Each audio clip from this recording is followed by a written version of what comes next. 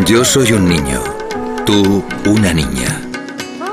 Yo vivo en tu regazo y tú en el mío. Día a día estamos en la mente del otro. Cambias con el paso del tiempo como cambia el mar, pero para mí eres siempre la misma. Si no seguimos el mismo camino, dejaremos de comprendernos.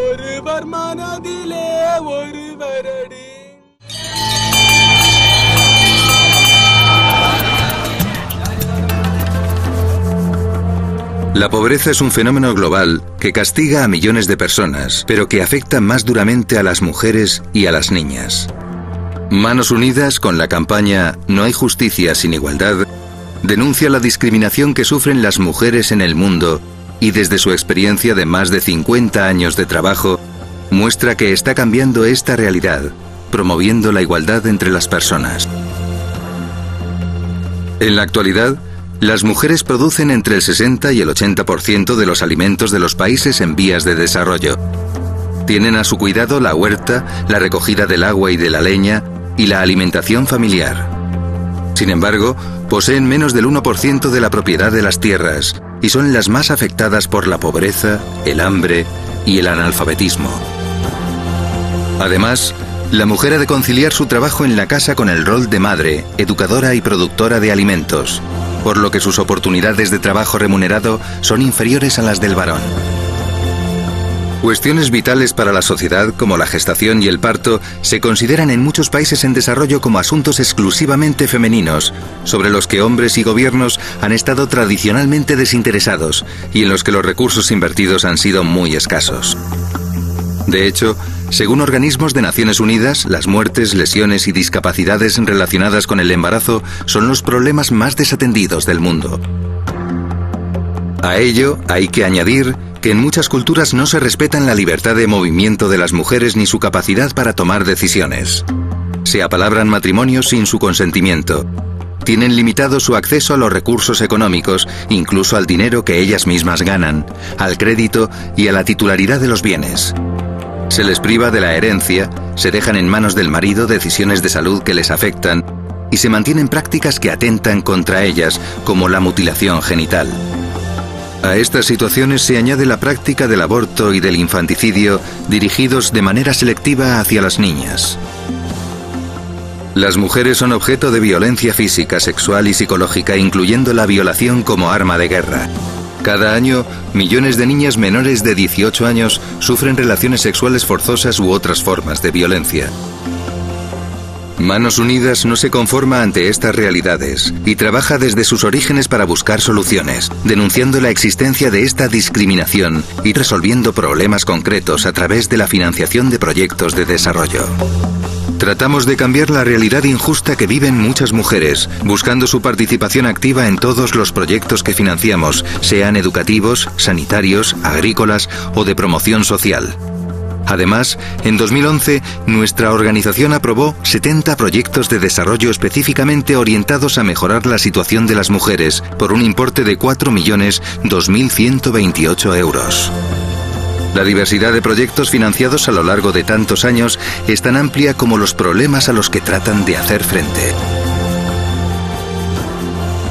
En una barriada de Nairobi, capital de Kenia, Manos Unidas ha apoyado un centro de promoción femenina en el que mujeres sin trabajo y en situación de abandono aprenden un oficio y adquieren los conocimientos necesarios para poner en marcha pequeños comercios. En Mozambique, uno de los países más pobres del mundo, Manos Unidas apoya el centro sanitario Matola 2, que coordina Adalberta Grachane. Las mujeres sin recursos son atendidas gratuitamente durante su embarazo. En Benín, concretamente en la localidad de Niki, un grupo de educadoras recorre pequeños poblados rurales formando a las mujeres en cuestiones de alimentación y salud, lo que ha repercutido en la mejora de todo el conjunto de las familias. En esta zona han dejado de producirse muertes por subalimentación debido a que las mujeres saben identificar los síntomas de los distintos tipos de anemia y de las principales dolencias, y ahora los enfermos llegan a tiempo a los hospitales. El programa además controla el peso de los niños y enseña el uso de medicinas básicas. Al otro lado del océano, en Loja, Ecuador, un grupo de mujeres emprendedoras han recibido financiación para la puesta en marcha de una pequeña fábrica de harina. Los ingresos generados por su actividad les han permitido mejorar la precaria situación económica en que se encontraban sus familias. En Cotocollao, barrio periférico al noreste de Quito, capital de Ecuador, la enfermera Marta Tadeo de la Fundación Ayuda Familiar y Comunitaria visita las casas realizando labores de prevención, higiene y preparación al parto. En algunas zonas de la India, el sistema de castas que clasifica a los seres humanos en superiores e inferiores es una gran causa de desigualdad y pervive a pesar de haber sido abolido por la Constitución.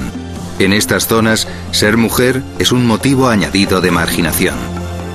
Entre las iniciativas financiadas por Manos Unidas para apoyarlas se encuentra la promoción de grupos de ayuda mutua como este, en el cual las mujeres se forman, tienen acceso a sistemas de ahorro y crédito comunitarios que evitan su dependencia de los prestamistas, toman iniciativas y aprenden a estar más presentes en la vida de la comunidad. En el estado de Rajasthan, agrupaciones de mujeres promovidas por la Fundación Bal Rasmi han puesto en marcha medidas para luchar contra la sequía, construyendo estanques para retener el agua que cae en la época de los monzones y guardarla hasta la época seca, lo que permite a las familias conseguir dos cosechas al año. Para favorecer la igualdad de la mujer, el instrumento más poderoso es la educación, por lo que forma parte siempre de la labor realizada en estas agrupaciones de mujeres. अपना अपना निर्णय स्वयं ले सकेगी पढ़ी लिखी होगी तो। की होगी तो कहीं दूसरे गाँव जा रही होगी तो उसको मतलब ये नहीं कह पूछना पड़ेगा भी ये बस कौन सी जगह जाएगी कहाँ जाएगी। एंजिस्ट प्रिंसिपियो कि देश की फॉर्मार um homem é formar um indivíduo, mas formar uma mulher é.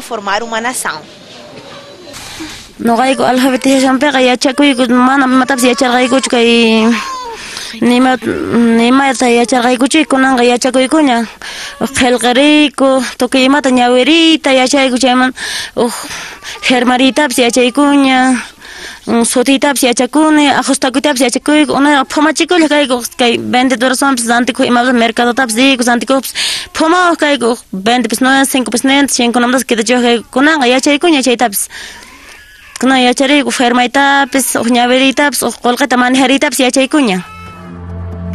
Manos Unidas es la asociación de la Iglesia Católica en España para la ayuda, promoción y desarrollo del tercer mundo.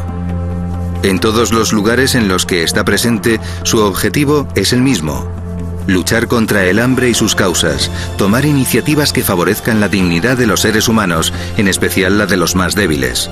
Entre estos se encuentran las mujeres, principales transmisoras de valores dentro de la familia y tratadas, sin embargo, como el sur del sur.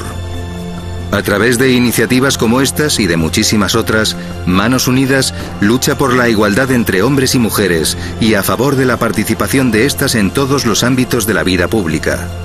Condena los actos de discriminación y de violencia contra ellas.